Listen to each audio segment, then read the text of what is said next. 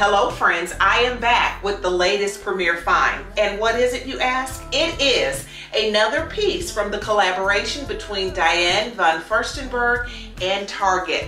It is her iconic wrap dress. It is what put her on the map. She is best known for her wrap dresses. Now, if you go to Neiman's, and I'm going to insert a picture, you will see a wrap dress very similar to this style for $438. This dress is $50 and it is from Target. I'm gonna turn and give you the 360. Very form fitting. I like the lift that it gives in the back. The sleeves feel good. The whole fabric feels very good. This dress is not lined, which is probably why it puts it at the $50 price point as opposed to her pieces.